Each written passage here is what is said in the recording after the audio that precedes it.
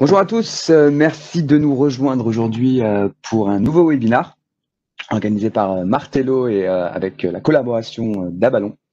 Alors aujourd'hui, on va discuter des nouveaux enjeux autour de Microsoft 365, les nouvelles solutions, mais aussi on va lier tout cela avec des sujets de performance qui est le, le, métier de, de, Martello. Alors aujourd'hui, je suis accompagné de, de Patrick. C'est moi. Patrick Guimonet, donc, euh, qui travaille pour, euh, pour Abalon. Patrick, je te laisse te présenter. Oui, bonjour euh, Victorien, merci de, me donner l'occasion d'échanger avec toi. donc moi je suis fondateur et le dirigeant d'une société qui s'appelle Abalon. Nous sommes des spécialistes de l'accompagnement autour de Microsoft 365, Office 365. mon rôle plus personnellement, c'est de euh, vraiment d'accompagner mes clients sur euh, créer des solutions business, orientées business, pour euh, tirer le profit des, investissements qu'ils ont fait dans la suite et dans l'achat de, de, licences Office 365. Euh, je suis aussi depuis euh, une petite dizaine d'années maintenant, ça commence à faire bien, bien longtemps, euh, Microsoft MVP, donc c'est-à-dire que je, j'anime, j'organise des événements, je participe à des événements en tant que conférencier sur ces superbes technologies. Et toi, Victorien, peut-être tu peux aussi te présenter? Bien sûr, oui. Alors moi, donc Victorien Dangoumo, je suis responsable des marchés francophones pour Martello. Euh, que GSX a rejoint récemment. Peut-être que certains d'entre vous euh, connaissent déjà euh, ce nom. Alors aujourd'hui, Martello couvre le marché de l'expérience digitale. Donc on va voir, on a différentes solutions autour de la performance, de l'expérience utilisateur, mais aussi de l'usage et l'adoption. On aura l'occasion d'y revenir plus tard. Donc on va parler aujourd'hui des, des, nouveautés autour d'Office 365. Euh, Patrick, euh, je vais te laisser la parole pour nous expliquer un peu les évolutions importantes qui, se sont opérées dans les derniers mois. Oui, tout à fait. Alors justement, euh, on parle de, faut bien faire la distinction entre Microsoft 365 et Office 365. Jusqu'à présent, les gens utilisaient vraiment le, mot Office 365. De plus en plus, on va assister à l'émergence, on assiste déjà à l'émergence de Microsoft 365 en tant que marque et en tant que vecteur de communication chez Microsoft. Alors en fait, ce n'est pas une histoire euh, tout à fait nouvelle puisque la première date effectivement de Microsoft 365, c'est l'annonce en fait qu'en a fait euh, Satya Nadella en juillet 2017, donc ça fait déjà maintenant euh, plus de trois ans, où il a annoncé en fait Microsoft 365 comme un, nouveau package, donc un, regroupement de licences qui permettait d'acheter en même temps du Office 365, euh, donc les services cloud, on va revenir en détail dessus, euh, de quoi ils se composent aujourd'hui, mais aussi des licences Windows 10 et des licences Enterprise Mobility and Security, qui sont euh, des, licences plus pour gérer la sécurité au niveau des, des périphériques mobiles. Donc ça, c'était il y a donc quelques années. Et en fait, cette annonce, elle, a eu un écho, je dirais, euh, ça a résonné encore euh, beaucoup plus récemment, donc euh, le 30 mars 2020, ils ont annoncé plusieurs renommages de licences préexistantes. Ça a un petit peu passé inaperçu avec la période de, confinement en France, par exemple. mais il y a quand même des, choses qui, sont très marquantes. C'est la disparition de la licence Office Pro Plus, donc la, licence par laquelle on pouvait acheter les outils Office classiques. Et, même au-delà de ça, la licence Office 365 disparaît complètement, les licences Office 365 disparaissent complètement des offres euh, PME. Euh, donc, si tu veux, on va détailler ça sur les, slides suivants. Alors voilà, concrètement sur un écran, euh, comment ça se matérialise? Bah, Vous lancez aujourd'hui Word, Excel ou PowerPoint et Outlook, c'est quatre produits phares de, la suite. eh bien, vous ne voyez plus du tout euh, l'affichage Office 365 ou même Office tout court, vous voyez euh, par contre en dessous le petit, euh, la petite sous-marque Microsoft 365. Ça marque bien l'intégration de plus en plus forte de tout, l'écosystème sous, cette, sous cette marque et petit à petit la disparition de, Office. Alors justement, qu'est-ce que c'est aujourd'hui les produits qui sont concernés? Bah, C'est les produits que l'on peut acheter, donc c'est des logiciels que l'on va acheter sous forme d'un package qui sont mis à jour régulièrement, mais euh, qui sont des logiciels à installer. Donc c'est la grosse différence par rapport aux, outils Office 365 qui sont des services dans le cloud. Là, ça reste des produits classiques, je dirais, des logiciels qu'on installe sur son poste ou qu'il faut en entreprise, bien sûr, dont, il faut en entreprise gérer le déploiement sur les postes de l'entreprise. donc ça, ce regroupement aujourd'hui, ça ne s'appelle plus du tout Office ni Office 365, ça s'appelle Microsoft 365 Apps for Business en anglais ou euh, les applications euh, pour les entreprises Microsoft 365 si on veut le franciser un petit peu. Et ça vient s'intégrer, euh, donc là on a le panel des, offres TPE, PME qui sont mis à jour.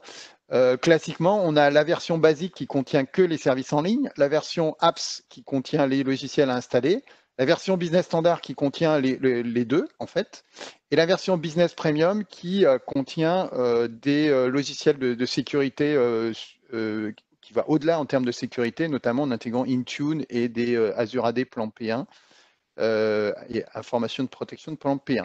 Donc ça, c'est le nouveau paysage pour les licences moyennes d'entreprise, TPE, PME. Évidemment, sur la partie euh, offre entreprise, donc les E1, E3, E5 que tout le monde, enfin que beaucoup d'entre vous certainement euh, pratiquent euh, pour les, grandes entreprises au-delà de 300 licences, eh bien, on peut s'attendre, sans jouer les devins, à une réorganisation similaire. Pour l'instant, ça n'a pas été annoncé, donc c'est plus des projections, mais attendez-vous à voir disparaître ou en tout cas s'amenuiser de plus en plus les, euh, les références euh, à la suite Office, puisqu'on va euh, mettre en avant la suite Microsoft 35. Et en fait, c'est un lien direct, Victorien, avec peut-être les, types d'offres que vous proposez, certainement. C'est qu'en fait, ça montre une intégration de plus en plus poussée, de bout en bout. et peut-être peux-tu voilà, nous détailler un petit peu comment vous abordez ces challenges, notamment en termes de performance, comment ça peut être traité parce que c'est pas simple quand on a euh, différentes applications qui viennent s'imbriquer de, pouvoir suivre la performance de tout ça. Tout à fait. Alors nous, on identifie généralement plusieurs challenges euh, lorsqu'il y a des déploiements de, nouveaux services ou en général d'une solution cloud d'Office 65 par exemple. Euh, le premier challenge, ça va être au niveau du déploiement.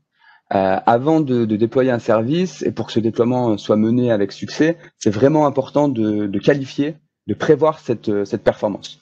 Euh, le but étant bien entendu d'éviter un, ralentissement du projet et euh, de débuter aussi une adoption sur euh, les utilisateurs qui vont être qualifiés de précoces. Ensuite, bien entendu, il y a la partie run. là, le but, c'est vraiment de gagner de la visibilité sur l'expérience utilisateur pour être en mesure de gérer au mieux les plaintes de ceux-ci. D'autant plus que si on en croit une étude Gartner, seulement une, une, faible proportion d'utilisateurs vont se plaindre lorsque euh, on a des euh, problèmes de performance. Et donc, ça peut entraîner du, du shadow IT, par exemple, euh, dans une organisation. Et ensuite, l'optimisation.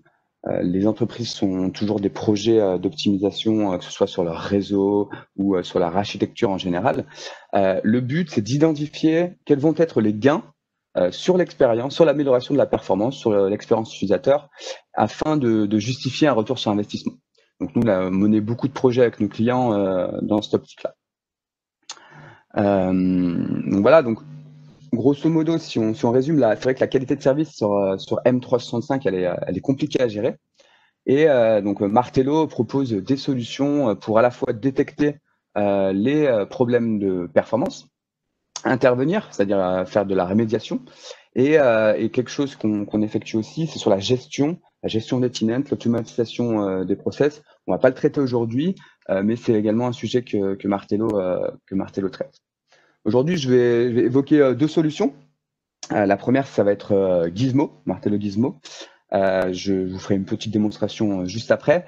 Et la seconde, c'est Martello IQ, qui en fait part du principe que dans une entreprise, on va se retrouver avec plusieurs outils de supervision, plusieurs outils d'ITSM, qui vont pas forcément euh, communiquer ensemble. Et donc l'idée de, Martello, IQ, c'est de mettre en parallèle ces différentes sources de supervision afin d'obtenir une vue euh, vraiment holistique de la performance d'une localisation ou d'un service et euh, d'aider à la remédiation plus rapide. Alors je vais, je vais vous montrer rapidement la solution, la solution Gizmo. qui est une, donc un outil qui est disponible soit en SaaS, soit en on-premise. En fait, euh, l'idée, c'est de placer des sondes, donc on appelle ça des, des robot users, sur différents sites euh, et de, de, faire jouer des scénarios comme le ferait exactement un utilisateur. et l'avantage de la solution, c'est que vous pouvez positionner des sons dans des conditions différentes. Donc, par exemple, nous, on travaille beaucoup avec des entreprises qui veulent voir l'impact du, du Wi-Fi sur, le, sur la performance par rapport à, au LAN. Et donc, on va pouvoir, par exemple, placer un robot qui effectue les mêmes tests à la même localisation en LAN ou en Wi-Fi. Euh, donc la solution, on place ces sondes, on, va créer des tableaux de bord. Euh, là, j'ai créé un tableau de bord, par exemple, avec Exchange, SharePoint, OneDrive. Là, on peut voir qu'il y a quelques problèmes actuellement. Donc, c'est vraiment du temps réel. Donc, si on reprend un peu notre, euh, schéma qu'on a vu précédemment, là, c'est vraiment destiné aux équipes run. D'accord? Donc là, on voit effectivement qu'il y a quelques, scénarios qui posent quelques latences. Et donc, c'est des situations qui ne sont pas acceptables. Donc, on va envoyer des alertes pour être, pour être proactif. Donc, on peut descendre également par service. Euh, donc là, je vais sur Exchange. Donc, on voit effectivement que la performance, euh, elle, est, elle est plutôt bonne ici, puisqu'on est à 100%. Euh, on va voir que sur Bangalore, c'est un peu plus un peu plus lent et on peut on peut identifier plusieurs scénarios qu'on effectue. Donc euh, on va créer des folders, on va tester euh, le FreeBuzzy. Donc on effectue différentes actions pour parce qu'on ça va appeler différents endpoints chez Microsoft et donc on va voir la performance de ces différents endpoints toujours d'un point de vue utilisateur. sur Teams, on fait également plusieurs choses très intéressantes puisque c'est quelque chose qui est de plus en plus usité dans les entreprises ça va être important de, de voir, par exemple, euh, combien de temps euh, ça met ou est-ce que ça fonctionne déjà euh, la connexion à Teams, le, le test d'IM, la création de channels, etc. etc. on va avoir différents, différents dashboards pour les différents services. pour les entreprises qui sont hybrides, ce qui est le cas de nombreux de nos, clients, notamment les, plus grands comptes, on va être capable aussi d'avoir des, informations sur euh, sur la performance des, composants hybrides. Donc, euh, par exemple, on a un test euh, de mail routing. Donc, on part d'un point A à un point B et on va vous donner le temps pour router un email. Au-delà de ça, on va passer par, bah, par exemple, vos plateformes SMTP ou même par votre Ironport, par exemple, ou autre équipement de sécurité. Et on va être capable de vous donner les temps de latence entre chaque bon pour effectuer le routage de l'email et donc identifier par exemple si vous avez un, switch qui est défaillant ou euh, un équipement qui, euh, a, qui a du mal à, dépiler les mails. Au-delà de ça, on va également faire euh, le, des choses sur la DFS, sur les serveurs Edge ou toute la, toute la suite on-premise Exchange Server. Euh, alors juste pour, pour être bien clair, hein, on, on, on, a la capacité de, de lier notre solution euh, à vos outils d'ITSM. Donc c'est vraiment destiné ce tableau de bord à la partie euh, plutôt la partie plutôt run. ensuite, en fait, la solution collecte des statistiques va les pousser vers une, une, une, base SQL et on va pouvoir l'exploiter à travers des tableaux de bord type Power BI. Alors l'avantage, c'est qu'on va fournir encore une fois différents tableaux de bord pour différentes populations. Euh, donc par exemple, là j'ai un, tableau de bord plutôt high level, donc j'ai trois localisations, je pourrais en rajouter si, euh, si je le désirais, où je vais avoir une vue euh, vraiment sur une période de temps que je définis de mon SLA global. Donc très utile par exemple si vous faites des copies tous les 15 jours, tous les mois pour reconnaître la performance de 65. Et après on va pouvoir descendre sur des, des choses plus techniques. Donc par exemple, nos robots donc sur Teams, on a vu faisaient des actions fonctionnelles, mais également des tests de qualité de la voix. Euh, donc euh, là, je vais pouvoir zoomer sur une localisation ou sur plusieurs et identifier bah, quel est mon MOS, donc mon Mean Opinion Score. Euh, la valeur de référence pour savoir si les calls sont de qualité, les appels sont de qualité, en sachant que avoir un, MOS qui est inférieur à 4 signifie que vous allez pouvoir ou sans doute avoir des hachures dans, le, dans, dans les appels. Et puis derrière, on va remonter les informations type packet loss, la bande passante, etc. Alors tout à l'heure, on avait parlé d'optimisation. Euh, ce qui est euh, très utile chez nos clients, c'est de placer, euh, par exemple, un robot avant un changement, pendant et après. un exemple typique, c'est la mise en place de la QoS ou le changement d'ISP au sein d'une organisation. donc, grâce aux données, grâce aux métriques qu'on va vous proposer, vous allez être capable d'identifier si euh, suite à ces changements, la performance est meilleure et donc le généraliser éventuellement à d'autres sites. Euh, ça, on l'a fait également de nombreuses fois avec nos clients. Je voulais vous montrer un autre, un autre, un autre tableau de bord qui est, qui est aussi intéressant. Là, on parle plutôt de, d'audit et donc peut-être en avance de déploiement, en avance de phase. Là, on va placer des sondes sur bah, des localisations. donc là, par exemple, je vais être à, Boston et je vais être capable d'identifier bah, des indicateurs clés de performance pour savoir si bah, Exchange ça, ça, fonctionne bien, Teams ou même des indicateurs réseau. Le but étant de, en avance de phase d'un nouveau service, par exemple, vous pouvez faire cet audit, ou euh, également, on l'a fait euh, de nombreuses fois pendant le, confinement, avec le télétravail, en fait, d'aller faire du euh, troubleshooting sur des utilisateurs qui vont être clés. puisque nos sondes se déploient très facilement et très rapidement. Voilà, et puis après, donc, on va gérer les différents services Office 365, on a différents euh, dashboards, euh, tableaux de bord qu'on va pouvoir vous proposer en fonction de l'audience. Donc si je reviens un peu sur, sur ma présentation et, pour conclure sur, sur cette partie-là, alors attendez, hop, voilà. on va proposer des, des transactions synthétiques qui, pour nous, sont au cœur de la qualité de service. Parce que c'est vrai que pour, euh, pour superviser, pour connaître la performance d'une application euh, il faut la consommer. Et donc, on va faire des, des actions utilisateurs, mais également réseau. Euh, le gros avantage euh, d'une solution euh, type robot, comme on, comme on la propose, c'est qu'on va avoir des données qui vont être collectées 24 heures sur 24, 7 jours sur 7. C'est vraiment très important puisque si un utilisateur, si vous placez des agents sur des, sur, euh, sur des, euh, des PC d'utilisateurs euh, actifs, quand ils se déconnectent, eh bien, vous allez perdre justement la capacité d'avoir des données et des métriques intéressantes. Et puis, on va fournir un, indice de référence. en anglais, on appelle ça une baseline, où là, euh, l'idée, c'est vraiment de, bah, de voir quand est-ce qu'il y a des baisses de performance euh, et dans quelles conditions. Et enfin, voilà, donc la solution est très utile pour euh, collecter des données, avoir de la visibilité.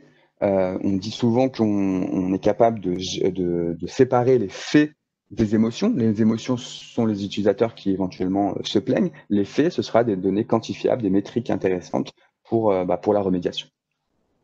Et puis, on va pouvoir bien entendu comparer aussi, c'est quelque chose qui est important, comparer la performance dans les différents sites où nos sondes seront placées. Donc voilà, donc on a vu la, performance, euh, elle est au centre euh, du, déploiement euh, de nouveaux services.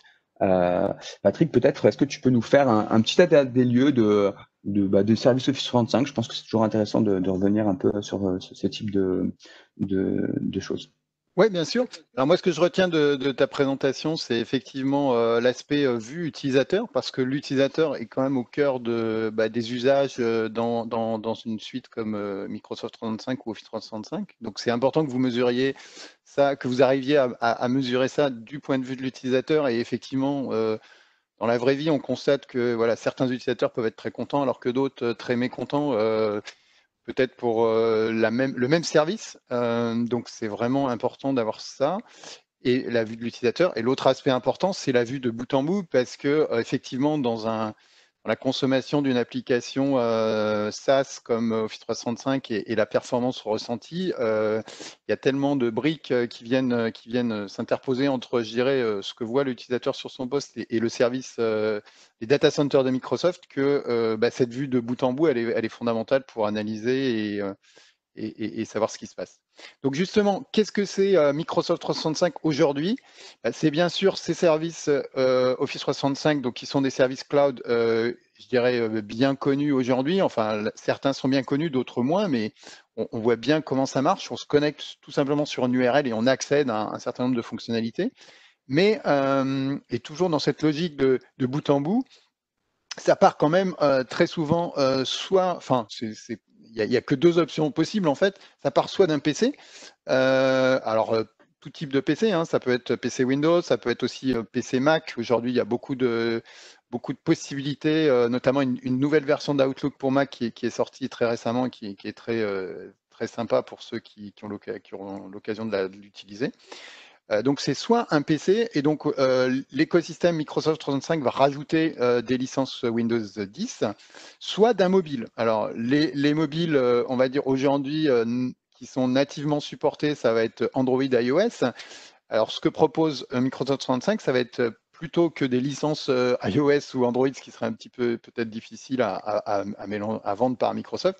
En tout cas, des outils d'administration de, ces périphériques mobiles et de sécurisation de ces périphériques mobiles, puisqu'on sait que c'est un des, euh, des points euh, quand même sensibles d'un tel système. Si vous perdez votre PC, votre téléphone mobile et que on a un accès, je dirais, sans, sans protection à l'ensemble des données de l'entreprise, ça, ça, va être très, très vite problématique. Donc, D'où l'importance d'intégrer dans tout ce, schéma-là euh, euh, des, logiciels comme Intune, par exemple, qui vont permettre de sécuriser tout ça.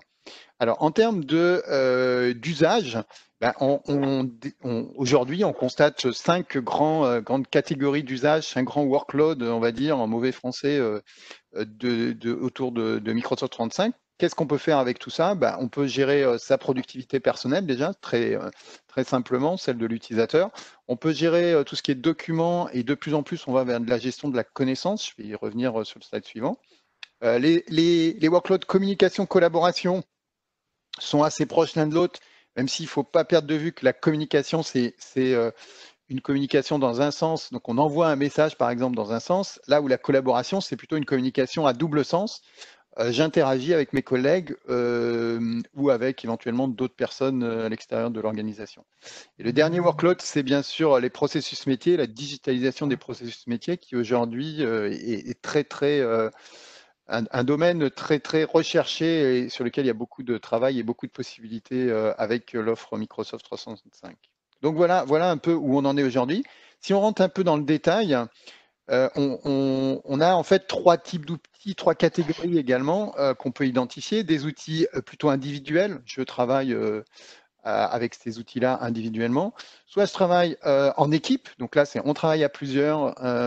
et enfin des outils qui vont être destinés plus à vraiment connecter toute l'entreprise sur un certain nombre de, bah, de possibilités d'interaction. Donc, si on reprend nos workloads, voilà, ça va, ça va s'afficher tranquillement. Euh, les, outils de productivité personnelle, c'est par exemple euh, la gestion de ma to-do list, la gestion de mon calendrier. Euh, déjà, avec la gestion du calendrier, on, est à la limite entre mon calendrier, bon, c'est évidemment pour moi individuellement, mais aussi le calendrier de mes collègues, je peux y accéder, le consulter, etc. Et là, on passe tout doucement de la productivité personnelle à la productivité de l'équipe. Sur la gestion documentaire, on connaît euh, très bien euh, les, outils OneDrive pour gérer les fichiers individuels et SharePoint pour gérer les fichiers collectifs. Mais euh, Microsoft rajoute en fait régulièrement des fonctionnalités et notamment autour de développe la possibilité de gérer plus de la connaissance. Il y a deux outils récents qui ont été qui ont été annoncés à Ignite notamment et un petit peu avant. Euh, Microsoft List, donc c'est la possibilité de définir des listes qui vont être soit utilisées individuellement, soit par l'équipe pour gérer un certain nombre euh, bah, de, listes d'items euh, quelconques. donc on a des possibilités évidemment autour de ces listes d'automatiser, de, définir des, des, approbations par exemple, etc et le projet Cortex qui est euh, la possibilité d'utiliser de l'intelligence artificielle pour reconnaître automatiquement des documents et les traiter euh, de manière aussi automatique. Typiquement, les cas d'usage les plus, euh, les plus évidents, ce sont les, traitements des factures, le traitement des notes de frais, des choses comme ça, qui sont des, des cas qu'on rencontre dans absolument toutes les entreprises. Ensuite, sur la partie communication, si, voilà, si ça s'affiche, on voit qu'il y a euh, encore une fois cette euh, dichotomie entre des outils individuels et dans la catégorie communication, pour communiquer individuellement, euh, l'outil majeur reste Outlook, donc le mail, ou toujours dans cette logique où j'envoie un message à, une ou plusieurs personnes, mais ça reste un outil très individuel dans son mode de fonctionnement et dans sa conception. là où Teams va permettre une communication beaucoup plus orientée sur l'équipe, notamment on va pouvoir faire des réunions d'équipe, évidemment, euh, que ce soit en chat ou en, vidéo ou en audio avec Teams. Euh, il y a aussi euh, toute une panoplie d'outils communication d'entreprise, mais voilà, on va passer très vite, c'est pas le sujet. Tu peux voilà, activer la collaboration. Sur la collaboration, je voudrais insister sur le fait que les outils Office classiques, ceux dont le nom est en train de disparaître, mais les outils restent bien présents, euh, Word, Excel, PowerPoint, etc., sont d'une certaine façon des outils de collaboration qui sont utilisés individuellement. En fait, c'est typiquement ce qui se passe quand je vais créer, par exemple, une présentation PowerPoint. En, général, je la crée dans mon, dans mon, dans mon, sur mon PC, dans mon environnement, pour ensuite la partager avec mes collègues. Et c'est là où Teams apporte vraiment des nouvelles possibilités très riches d'interaction en créant un espace où stocker les documents de l'équipe et où échanger autour de ces documents.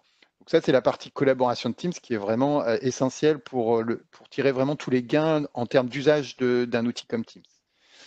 Pour finir ce slide, euh, la partie processus métier, bah, ça va tourner autour de la Power Platform. Euh, comme j'ai dit tout à l'heure, euh, c'est un pan très riche de, possibilités et de fonctionnalités nouvelles que nous offre Microsoft. Peut-être ce sera l'occasion d'un prochain webinar, qui sait. Voilà, tu peux donc passer maintenant au slide suivant. Et voilà, on va se focaliser sur les outils principaux qui sont Teams et Outlook.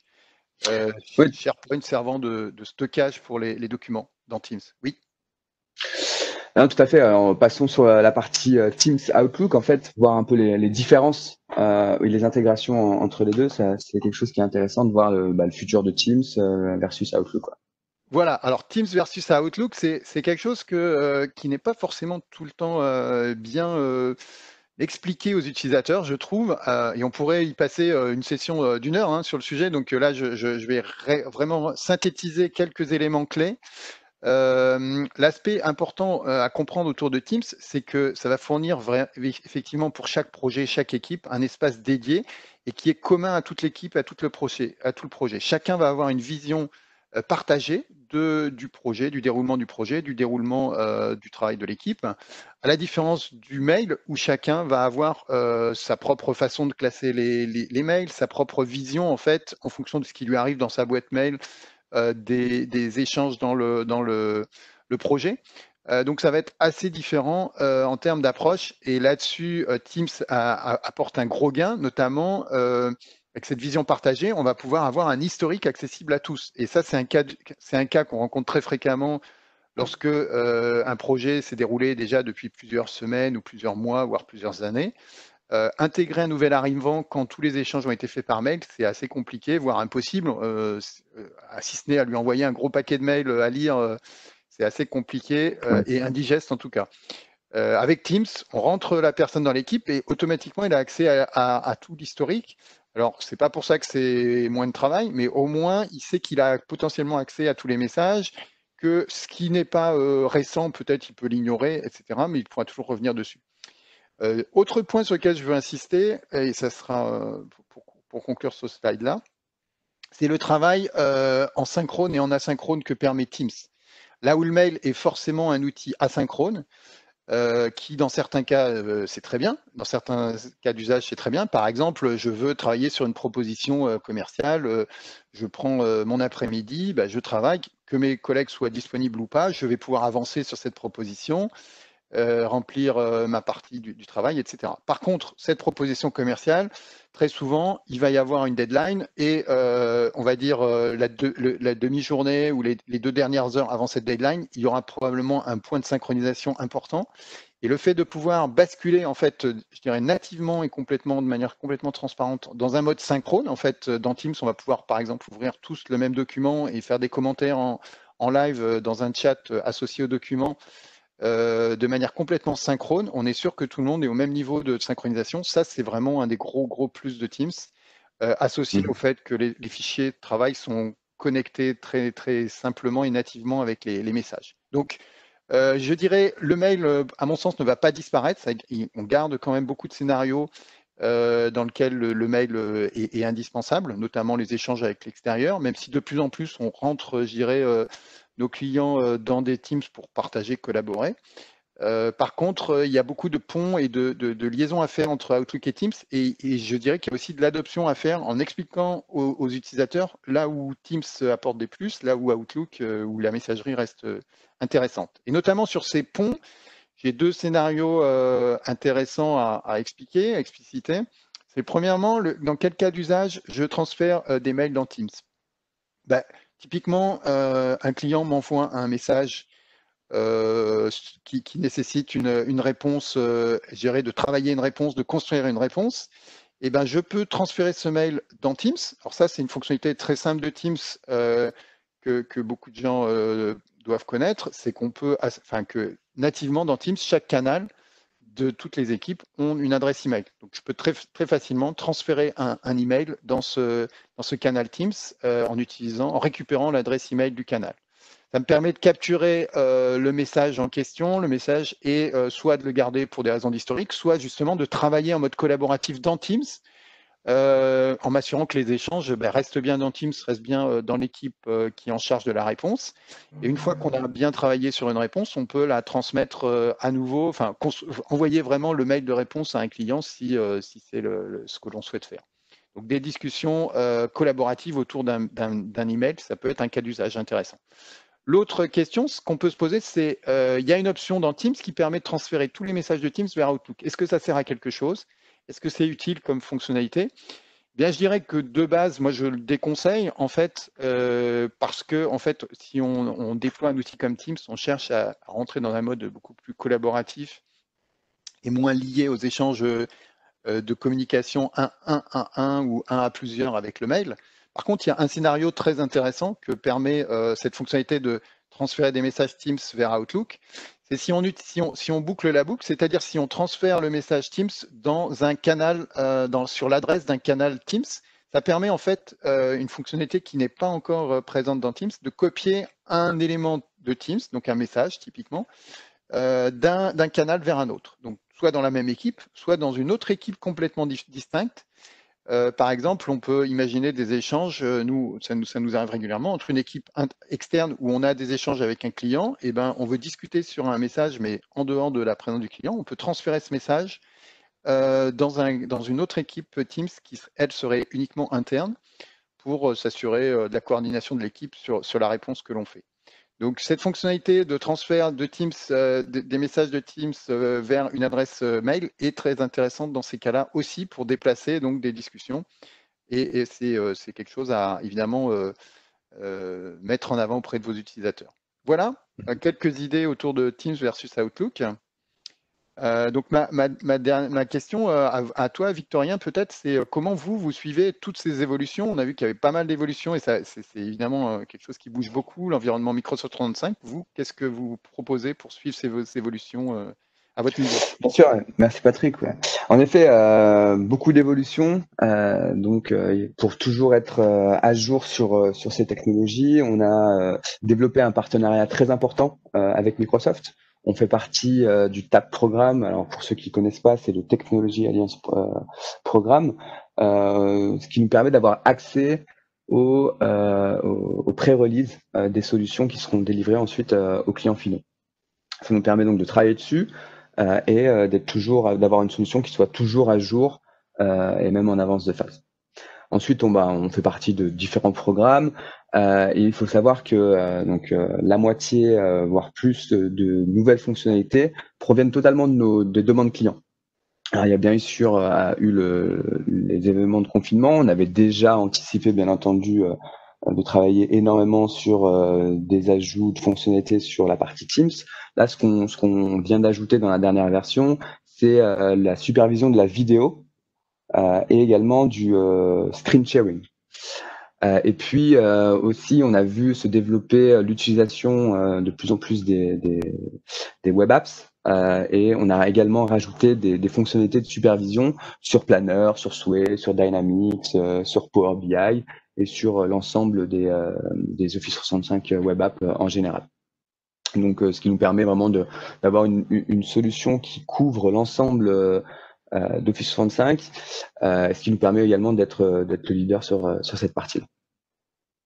Donc, bah, on a vu aujourd'hui que la partie Office 365 ou M365 maintenant, puisque on ne peut plus l'appeler ainsi, c'est réellement mouvant et que la performance, dans tous les cas, doit être au centre du jeu, centre de la réflexion, pour avoir un succès de la mise en place jusqu'à l'adoption des services. Et donc, euh, nous, euh, chez Martello, on va couvrir euh, à la fois des solutions, grâce à des solutions de, performance, mais aussi d'adoption, ces sujets-là. si vous voulez aller plus loin, n'hésitez vraiment pas à nous contacter. On pourra vous présenter plus en détail les différentes solutions. Et, et je pense que aussi aller visiter le, le site d'Abalon, où notamment la partie blog est très riche, il y a beaucoup de contenu elle est très intéressante pour euh, bah, toujours être à jour un peu sur euh, sur euh, bah, les évolutions des environnements Office 35 et, et, l'écosystème. Donc, donc merci à tous. On va, on a, je pense qu'il nous reste cinq minutes. On va pouvoir traiter une ou deux questions. je vois qu'il y a une question, je pense que ce sera pour toi, Patrick, parce que je sais que vous travaillez beaucoup sur cette technologie.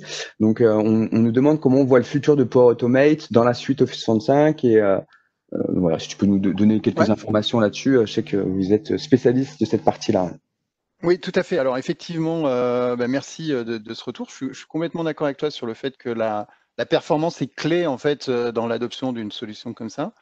Et bah, Power Automate et, en particulier et toute la Power Platform en général, donc avec Power BI et Power Apps, permet de vraiment de développer des applications très très rapidement par rapport à ce qu'on faisait avec du développement classique, on parle plus de, semaines ou de mois, on parle vraiment de jours. Euh, donc on va très très vite euh, pour développer des solutions. Du coup, ça permet d'être beaucoup plus euh, connecté avec les besoins métiers.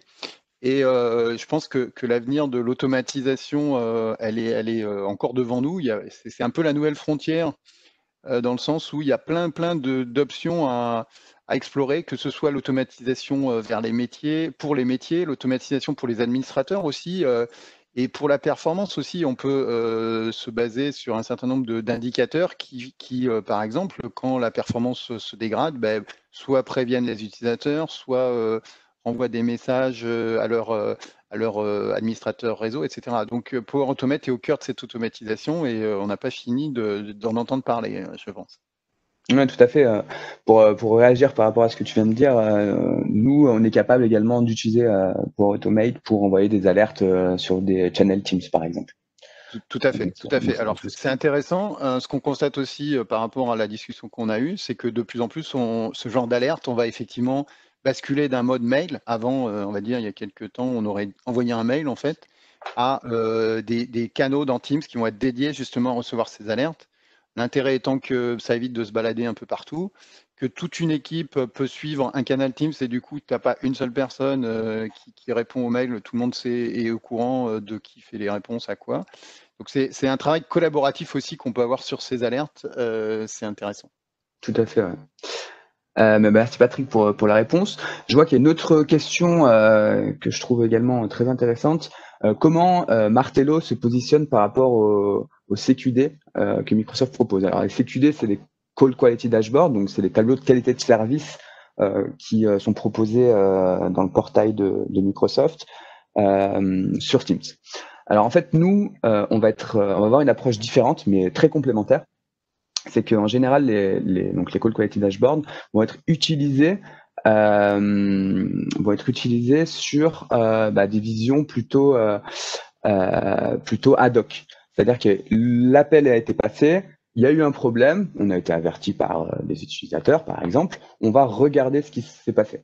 Alors que l'approche de Martello, euh, de Gizmo, elle, euh, en faisant une supervision continue, avec une, une baseline, on va être déjà être proactif dès lors qu'on voit qu'il y a des indicateurs qui font que la qualité de la voix va être dégradée, on va être capable d'agir dessus. Et puis, euh, et puis d'avoir aussi bah, cette vision euh, en continu de l'expérience et de voir dans quelles conditions la performance diminue. Donc c'est très complémentaire euh, cet aspect-là.